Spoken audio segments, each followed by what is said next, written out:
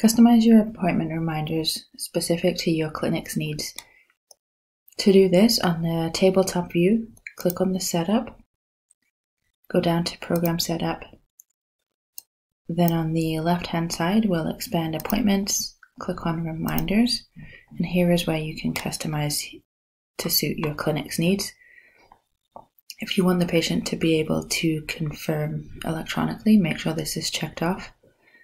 If the patient is receiving a voice messaging reminder, this will be the prompt number that the patient will have to type in to confirm.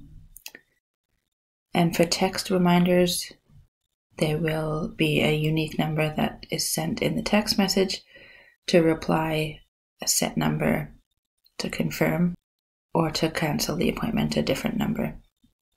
And in the email reminders, you'll have a button click to confirm, click to cancel. For confirming appointments, it's best practice just to have mark as reviewed checked off. This will save clinic staff time having all of these confirmed appointment pop ups showing up. Here you can set your appointment status that you would like to switch to once the patient has confirmed their appointment. You can create a new rem- appointment status if you wish, like reminder cat confirmed.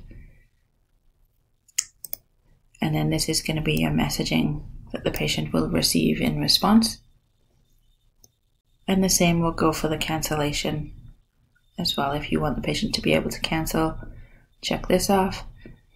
If it's less than 24 hours and you don't want them to be able to cancel without calling, put in a timeline here same thing, this is the voice prompt to reply for canceling appointment, and then obviously text and email, you'll have those prompts as well. And then this is the status that you would set that you want the appointment to change to once the patient cancels that appointment.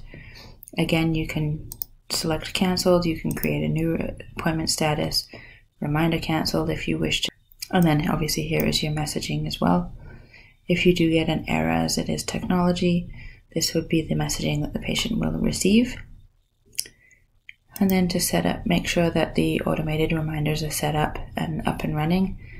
And just make sure that you have this maximum number of reminders per day high enough that it will make sure that all appointments that day go out. So if you're a busy clinic, you want to make sure that that number is nice and high. And then obviously apply, hit OK, and then your appointment reminders are all set up and ready to go.